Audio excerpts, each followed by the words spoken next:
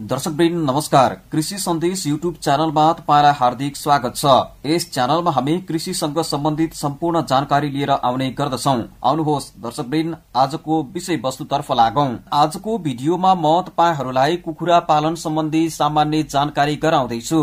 कृपया यो भिडियो अन्तिमसम्म हेर्नुहोला। यदि तपाईँलाई यो भिडियो राम्रो लाग्यो भने लाइक कमेन्ट र सेयर गर्न सक्नुहुनेछ। साथै यस्तै प्रकारका अन्य भिडियोहरू तपाईँ हेर्न चाहनुहुन्छ भने यस कृषि सन्देश युट्युब च्यानललाई सब्सक्राइब पनि गर्न सक्नुहुनेछ। आउनुहोस् दर्शकवृन्द अब लागौं आजको विषय वस्तुतर्फ कुखुरा पालन भन्ने बित्तिकै तपाईँहरू सबैलाई पक्कै पनि थाहा छ र सामान्य रूपमा तपाईँहरूले बुझिसक्नु भएको पनि छ होला र कतिपय किसानहरूले त आफ्नो घरमा कुखुरा पनि पाल्नु भएको छ होला र कतिपयले चाहिँ आफ्नो घरभन्दा केही टाढा कुखुरा पाल्नु भएको छ होला। यसको बारेमा म तपाईँहरूलाई केही सामान्य जानकारीहरू गराउन चाहन्छु। हाम्रो देशमा गाउँघरदेखि सहर बजारसम्म कुखुरा पालन व्यवसाय निकै लोकप्रिय भइरहेको हामीले देख्न सक्छौँ। यो व्यवसाय थोरै लगानीमा सुरु गर्न सकिन्छ। त्यस्तै गरी घरमा बस्ने जोसुकै व्यक्तिबाट पनि कुखुराको चाहिँ हेरचाहमा सहयोग पुग्ने हुँदा सजिलो व्यवसायको रूपमा हामीले कुखुरा पालनलाई लिन सक्छौँ। छोटो समयमै आमदामी लिनलाई एकदमै धेरै सहयोग पुग्छ। त्यसैले छोटो समयमै आमदामी लिनको लागि यो व्यवसाय धेरै महत्वपूर्ण मानिन्छ। त्यस्तै गरी दिन प्रतिदिन यो व्यवसाय हाम्रो देश नेपालमा बढ्दै गइरहेको हामीले देख्न सक्छौँ। यस व्यवसायबाट उचित मुनाफा लिनको लागि कुखुराको जात उपयुक्त खोरको पनि व्यवस्था गर्नुपर्ने हुन्छ। त्यस्तै गरी उपयुक्त दाना खुवाउनु पर्ने हुन्छ र कुखुराको सरसफाइ रोग व्याधिमा पनि हामीले विशेष गरी ध्यान दिनुपर्ने हुन्छ। यदि तपाईँ कृषक दाजुभाइ दिदीबहिनीहरू हुनुहुन्छ र तपाईँले कुखुरा पाल्नु भएको छ भने तपाईँले पक्कै पनि कुखुराको जातको बारेमा ध्यान दिनु पर्यो कुखुराको खोरको बारेमा ध्यान दिनु पर्यो कुखुराको सरसफाइको बारेमा पनि तपाईँले ध्यान दिनुपर्ने हुन्छ। त्यस्तै गरी बजारको व्यवस्था पनि तपाईँ आफै नै गर्नुपर्ने हुन्छ। यी कुराहरू एकदमै धेरै आवश्यकता रहेका छन्। त्यस्तै गरी हामीले कुखुराको फुल र मासुबाट धेरै मात्रामा प्रोटिन पाउँछौँ। आजकाल कुखुराको ठुलो महत्व बढ्दै गएको छ। कुखुरा पालन अन्तर्गत त्यसै खेर जाने पदार्थहरूलाई कुखुराको दानाको रूपमा पनि सदुपयोग गरेर फुल र मासुको रूपमा पौष्टिक पदार्थहरू हामीले उत्पादन गर्न सक्छौँ। हाम्रै छरछिमेकमा आफ्नै घरमा पनि हामीले यो उत्पादन गर्न सक्छौँ। र अब कुरा गरौँ कुखुराको फुलको बारेमा। यो कुखुरा पालन सम्बन्धी जानकारी गराउँदा गराउँदै यो फुलको बारेमा पनि तपाईँहरूले जानकारी लिनु धेरै महत्त्वपूर्ण विषय रहन्छ। त्यसैले म तपाईँहरूलाई अब फुल उत्पादन सम्बन्धी पनि केही सामान्य जानकारीहरू गराउन चाहन्छु। जस्तै तपाईँले घरमा कुखुरा पाल्नु भएको छ भने फुल एउटा साह्रै राम्रो पौष्टिक पदार्थ दिने तत्त्वको रूपमा पनि हामीले लिन सक्छौँ। फुल उत्पादनको उद्देश्यले पालिने कुखुरालाई हामी हामी लेयर भन्ने गर्छौँ जसले फुल धेरै पार्न मद्दत गर्छ। यसबाट फुल उत्पादनलाई चाहिँ बढी महत्व दिएको हुन्छ। कुखुरा पाल्दा सबैभन्दा पहिले फुल पार्ने शक्ति बढी भएको कुखुराको जात छान्नु पर्दछ। त्यस्तै गरी सामान्यतया कुखुरा पाँच महिनाको भएपछि फुल पार्न सुरु गर्दछ र अठार महिनाको हुन्जेलसम्म कुखुराले व्यावसायिक रूपमा फुल उत्पादन दिन थाल्दछ। त्यसपछि मासुका लागि बिक्री गर्नुपर्दछ। कुखुरालाई तिनीहरूको शारीरिक वृद्धि रोग व्याधि इत्यादिबाट बचावट गर्न सन्तुलित दानाको आवश्यकता पर्ने हुन्छ। त्यसैले दाना सन्तुलित भएमा मात्र कुखुरा उमेर अनुसार चाहिँ बढ्न सक्छ फुल पार्न पनि सक्छ। जति फुल पार्दछ त्यसलाई चाहिँ हामीले सन्तुलित रूपमा दाना खुवाउनु पर्दछ। त्यसकारण कुखुरालाई चाहिने विभिन्न तत्त्वहरू उपलब्ध हुने हिसाबले कुखुराको उमेर अवस्था अनुसार हामीले कुखुरालाई तीन प्रकारमा विभाजन गर्न सक्छौँ र सन्तुलित दानाको आवश्यकता पनि पर्दछ। पहिलो कुरा जुन कुखुरा हामीले पालेको एकदेखि आठ हप्तासम्मका लागि हामीले स्टार्स भन्ने जातको कुखुरालाई दाना खुवाउन सक्छौँ एक नम्बरको दाना। त्यस्तै गरी दुई नम्बरको दाना चाहिँ हामीले अर्को जुन ग्रोअर भन्ने कुखुरालाई खुवाउन सक्छौँ र यो आठदेखि अठार हप्ता उमेर समूहका कुखुराहरूलाई हामीले खुवाउन सक्छौँ। त्यस्तै गरी अर्को तिन नम्बरको दाना चाहिँ हामीले लेयर भन्ने नामको कुखुरालाई चाहिँ खुवाउन सक्छौँ। यो चाहिँ अठार हप्तादेखि पालुन्जेलसम्म हामीले खुवाउन सक्छौँ। नेपालमा व्यावसायिक रूपमा पालिएका विदेशी जातका कुखुराहरूमा लेघन हाइलाइन favor किस्टोन आदिको कुराहरू पर्दछन्। र म तपाईँहरूलाई सामान्य रूपमा लेग बारेमा पनि केही जानकारीहरू गराउन चाहन्छु। यो जातको कुखुरा कस्तो हो भने यो लेग भन्ने जातको कुखुराको उत्पत्ति इटालीमा भएको मानिन्छ। यो फुलका लागि उत्तम मानिन्छ। यो अन्य जातभन्दा सानो छरितो र सफा कुखुरो देखिन्छ। र यसको चुच्चो र खुट्टा पहेँलो हुन्छ।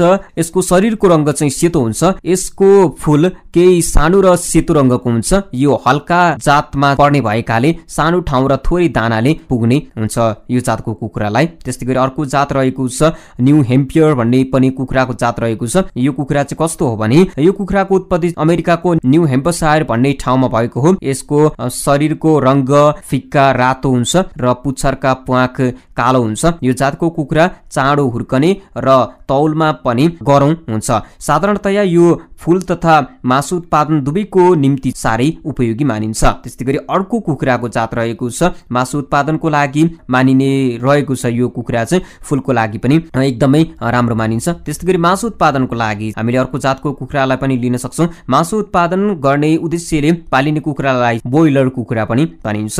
यो तपाईँहरूले पाल्नु भएको छ होला। पक्कै पनि धेरै कृषक दाजुभाइ दिदीबहिनीहरूले आजभोलि पालेको हुनुपर्छ। यो ब्रोइलर कुखुराबाट चाहिँ हामीले धेरैभन्दा धेरै मासु उत्पादन गर्न सक्छौँ। यसबाट दुई महिनामै आम्दानी लिन सकिन्छ। ब्रोइलर कुखुरा पालनका लागि उपयुक्त खोरको निर्माण गर्नुपर्दछ। त्यस्तै गरी कुखुरा बस्ने खोरमा हावाको आवत जावत पनि राम्रो हुने गर्नुपर्दछ। त्यस्तै गरी प्रकाश आउने र चारदेखि छ इन्चसम्मको बाक्लो सोतर पनि तपाईँहरूले त्यहाँ राख्नुपर्ने हुन्छ। र सोतरमा धानको भुस पराल काठको धुलो आदिको तपाईँले प्रयोग गर्न सक्नुहुन्छ। त्यस्तै गरी खोर निर्माण भइसकेपछि आवश्यक ठाउँ र तापक्रम मिलाइ चल्ला ल्याएर तपाईँले त्यहाँ पाल्न सक्नुहुन्छ। हुर्किएको प्रति ब्रोइलर कुखुराको लागि एकदेखि एक पोइन्ट पाँचको वर्ग फिटको ठाउँको आवश्यकता पर्दछ। त्यस्तै गरी चल्लालाई एकदेखि चार हप्तासम्म र एक नम्बरको दाना स्टार्स रासन खुवाउनु पर्दछ भने त्यस्तै गरी चारदेखि आठ हप्तासम्म तपाईँले दुई नम्बरको दाना खुवाउन सक्नुहुन्छ। यो जातको कुखुराको अधिकतम शारीरिक वृद्धि चाहिँ आठ हप्ताभित्र भइसक्छ। तसर्थ तपाईँले यो कुखुरा पालेको दस हप्ताभित्र बिक्री गरिसक्नुपर्ने हुन्छ। र मासु उत्पादनका लागि मुख्य जातका कुखुराहरू चाहिँ यसभित्र कर्सिना कब हाइब्रो रोस इन्डियन रिभर आदि पर्दछन्। त्यस्तै गरी कर्सिना भन्ने जात कस्तो हो यसको बारेमा पनि म तपाईँहरूलाई सामान्य जानकारी दिन चाहन्छु। यसको उत्पत्ति इङ्ल्यान्डको कर्बोनल प्रदेशमा भएको मानिन्छ। यो खच्चर जातको कुखुराको रूपमा लिइन्छ। यो कर्सिना कुखुरालाई चाहिँ खच्चर जातको कुखुराको जातमा लिइन्छ। यो जातको भाले र पोथी दुवैको शारीरिक बनोट एकै किसिमको हुन्छ। यो कुखुराको छालाको रङ्ग पहेँलो हुन्छ र यो मासुका लागि चाहिँ पालिने कुखुरा हो। यसको छाती गहिरो र फराकिलो हुन्छ। यी कारणले गर्दा यो अति नै लोकप्रिय हुन गएको मानिन्छ। अब म तपाईँहरूलाई कुखुरामा लाग्ने प्रमुख रोगहरूको बारेमा पनि केही सामान्य जानकारीहरू गराउन चाहन्छु। तपाईँले आफ्नो व्यवहारमा पनि लागू गर्न सक्नुहुन्छ। जुन मैले जानकारी गराएका टिप्सहरूलाई चाहिँ जसबाट तपाईँ कुखुरा पालन गरिरहनु भएको छ भने तपाईँले मनज्ञ रूपमा चाहिँ आफ्नो आमदामीलाई पनि अगाडि बढाउन सक्नुहुनेछ। अब म जानकारी गराउन चाहन्छु कुखुराका प्रमुख रोगहरूको बारेमा। कुखुरामा धेरै किसिमका रोगहरू देखा पर्छन्। हामीले कुखुरा पालिसकेपछि जहाँ चाहिँ कतिपय रोगहरू कुखुराको खोरबाटै उत्पत्ति हुन्छ भनेदेखि कतिपय रोगहरू बाहिरबाट पनि आउने गर्दछ। कुखुराको रोगहरूको बारेमा तपाईँहरूलाई सामान्य जानकारी गराउनु पर्दा कुखुरामा लाग्ने प्रमुख रोग रहेको छ रानीखेत रोग भन्ने। यो रानीखेत रोग लागिसकेपछि चाहिँ कुखुरामा कस्तो खालको लक्षण देखा पर्दछ भने रानीखेत रोगले कुखुराको श्वास प्रश्वास र स्नायु प्रणालीलाई चाहिँ प्रभावित गराइदिन्छ। त्यस्तै गरी कुखुराले सास फेर्न सक्दैन एकदम सास फेर्नको लागि चाहिँ कठिन पर्दछ। चुच्चो र नाकमा पानी जस्तो बाक्लो पदार्थ पनि देख्न सकिन्छ। यो रोग लागिसकेपछि त्यस्तै गरी कुखुराको टाउको झट्काउने र घाँटी तन्काउने पनि गरेको हामीले देख्न सक्छौँ। त्यस्तै गरी एकै ठाउँमा फनफनी घुम्ने पछाडि हिँड्ने पखेटा र खुट्टाको पक्षघात हुने घाँटी बटार्ने आदि लक्षणहरू चाहिँ कुखुराले देखाउँछ जुन यो रानीखेत रोग लागिसकेपछि। त्यस्तै गरी फुल पार्न पनि कम गर्छ हरियो रङ्गको निकै गनाउने छेर्दछ। त्यस्तै गरी सिउर र लोती चाहिँ पहेँलो हुने र पछि निलो रङ्गमा बदल्ने पनि गर्दछ। यो रोग लागिसकेपछि अब यसको रोकथामको उपाय चाहिँ के हुन सक्छ भने कुखुरा पालिने खोर वरिपरि तपाईँले सबैभन्दा पहिला सफा गर्नु पर्यो त्यस्तै गरी तालिका अनुसारको खोप पनि लगाउनु पर्यो तपाईँले। त्यस्तै गरी बाहिरी कुखुरा र अन्य चराहरू कुखुरा पालन क्षेत्रभित्र आउन दिनु भएन। त्यस्तै गरी रोगबाट मरेका कुखुराहरूलाई तपाईँले खाडल खनी पुर्नु पर्यो भाँडा उपकरण इत्यादि सामानहरूमा संक्रमणयुक्त वस्तुहरू पनि तपाईँले राख्नु भएन। त्यस्तै गरी कुखुराको चल्लालाई पहिलो हप्ताभित्रै एफ एस्ट्रोन भ्याक्सिन पनि लगाउनु पर्दछ। यस कारणले चाहिँ तपाईँले यो रोगबाट कुखुराहरूलाई बचाउन सक्नुहुन्छ। त्यस्तै गरी आठदेखि दस हप्ता पुग्दा आर टु बी भन्ने खोप पनि तपाईँले कुखुरालाई चाहिँ लगाउनु एकदमै आवश्यकता हुन्छ।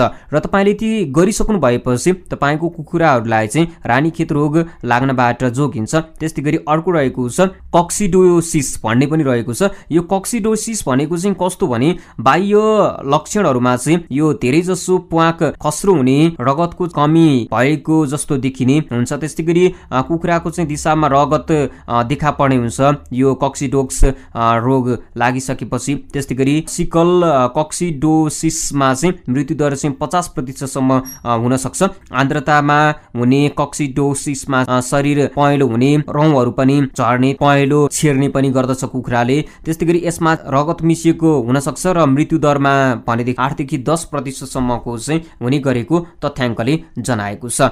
त्यस्तै गरी यो रोग लागिसकेपछि यसको थामको लागि चाहिँ हामीले के गर्न सक्छौँ भने सर्वप्रथम हामीले यसको लागि चाहिँ के गर्नु पर्दछ भनेदेखि चाहिँ चिस्यान भएको खोर सोतर र दाना यसका लागि चाहिँ उपयुक्त वातावरण हुने हुँदा बस्ने ठाउँ र दाना चाहिँ हामीले सुक्खा खुवाउनु पर्यो। त्यस्तै गरी खास गरेर बर्सातको मौसममा विशेष गरी कुखुराहरूलाई चाहिँ ध्यान दिनु पर्दछ।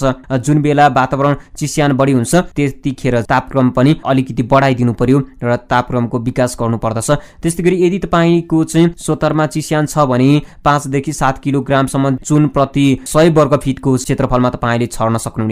त्यस्तै गरी यसले चाहिँ चिस्यान कम गरी ताप उत्पन्न गर्दछ जसले यी प्रोटोजुवाहरू मर्दछन् र यसबाट हामीले चाहिँ मुक्ति पाउन सक्छौँ। त्यस्तै गरी अर्को रोग रहेको छ कुखुरामा देखा पर्ने गोम्बारो रोग भन्ने रहेको छ। यो गोम्बोरो रोग चाहिँ कस्तो हो भने यो रोग लागिसकेपछि कस्ता खालका लक्षण देखा पर्दछन् भने यदि तपाईँले पालेको कुखुराहरूमा गोम्बरो रोग लागेको छ भने यो रोग लागिसकेपछि देखा पर्ने लक्षणहरू रहेका छन्। यो रोग लागिसकेपछि विभिन्न किसिमका लक्षणहरू देख्न सक्नुहुनेछ जस्तै रोग लागेको पछि सुरुमा चाहिँ बिस्तारै झोक्राउने र कुखुरा चाहिँ झोक्राउँदै झोक्राउँदै जाने हुन्छ। त्यस्तै गरी प्वाक गुजमुजाएर चाहिँ बस्ने गर्दछ।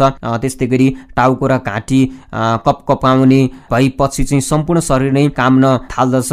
त्यस्तै गरी यसका साथै कुखुरालाई चाहिँ ज्वरो आउने आँखाबाट पानी बगेको हुन्छ। त्यस्तै गरी यस्तो अवस्थामा घाँटी तन्काउने र घाँटीको केही तल झुकाएर बस्ने गरेको पनि हामीले देख्न सक्छौँ। त्यस्तै गरी पहेँलो रङ्गको छेर्ने गर्दछ र पखेटा वरिपरि सुली टाँसिएको पनि हुन्छ। पुरानो रोगमा चाहिँ बिस्तारै चोक्राउने र दुब्ल्याउँदै जाने पनि हुन्छ। यस्ता खालका लक्षण देखा पर्यो भने तपाईँको कुखुरामा चाहिँ गोम्बोरो रोग लागेछ भनेर तपाईँले थाहा पाउनु पर्यो र यस्तो रोग लागिसकेपछि अब रोकथामको लागि चाहिँ के गर्नु पर्यो भने सरसफाइमा विशेष गरी तपाईँले ध्यान दिनु पर्यो त्यस्तै गरी कुखुरालाई गोम्बोरो रोग विरुद्ध भ्याक्सिन लगाउनु पर्यो दाना पानी दिने भाँडो जसलाई चाहिँ किटाणु रहित बनाउनको लागि तपाईँले सरसफाइमा विशेष गरी ध्यान दिनुपर्ने हुन्छ।